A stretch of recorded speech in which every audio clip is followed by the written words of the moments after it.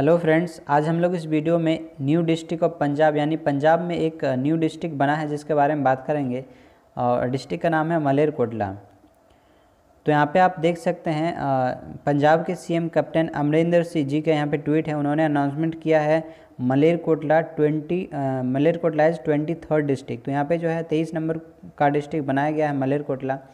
और इसका अनाउंसमेंट जो है, ये चौदह मई को हुआ है, ईद के दिन इसका अनाउंसमेंट किया गया है। मलेरकोटला जो है, ये संगरूर डिस्ट्रिक्ट जो पहले से ही था, उसको काट के अलग किया गया है। तो यहाँ से जो है, मलेरकोटला को काट के अलग किया गया है संगरूर डिस्ट्रिक्ट से। यहाँ मलेरकोटला का मैप देख सकते हैं।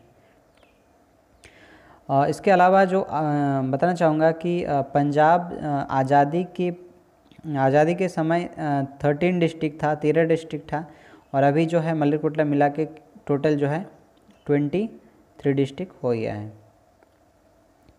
यहाँ पे आप ये जो फ़ोटो देख रहे हैं, ये पंजाब के गवर्नर बदनौर जी का फ़ोटो है।